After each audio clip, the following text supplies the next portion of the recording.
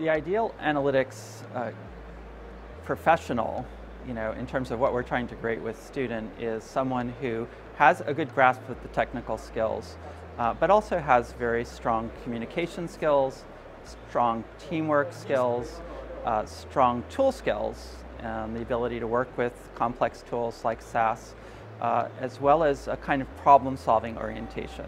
So someone who is not approaching everything from a research point of view, but focusing from the perspective of there's a problem, we have data, we need to draw whatever insights we have from that data on a very tight timeline.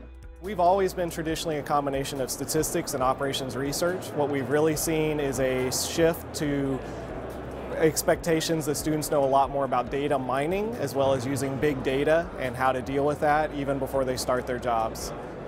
What the employers in the Greater Philadelphia area are looking for, uh, among other things, are also students who know how to look at data and to see what the actual story is. It's not just to uh, run a, a simple uh, proc means and, or proc tabulate, we actually to, to read the data um, to understand what the story behind the data is, or the stories are, and how to identify the most appropriate story that the data are actually telling you.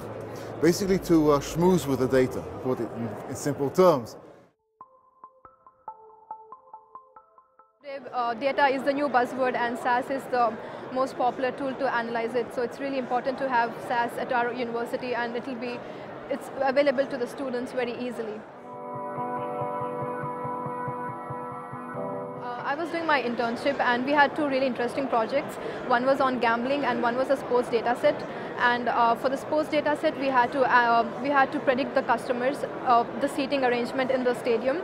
And we have used SAS to segment the customers and we were able to actually uh, provide good business solutions to the client. During the program, they get to work on lots of interesting case studies. One of the current ones are gasoline prices, daily gasoline prices at every uh, gas station in the United States. If you take one week of data, there's more than 700,000 rows. And if you use SAS's HP Reg and other high performance products, it has no problem. It actually enjoys analyzing that really quickly. My biggest advice is, um, is of course to take courses to supplement what they already know. Most of our students already have a bachelor's degree. They already have some experience with uh, scripting or with statistics. So we do, uh, advice is to uh, take our certificate program, which is very hands-on. Practical knowledge is probably one of the best things that you could show to uh, potential employers. And the other biggest piece of advice I have is to network as much as possible. Analytics is not related to just one field because I have done my undergraduate in biotechnology and now I'm doing my master's in management information systems. So I would just like to advise that uh, you know don't restrict yourself to just one particular industry. You not don't expect to get everything in the classroom. Uh, if you're interested in a particular subject, read about it grab a book, read about it, apply it. Don't expect, uh, if you don't have the data, simulate your own data. How would you simulate your own data? By reading about how to simulate your own data.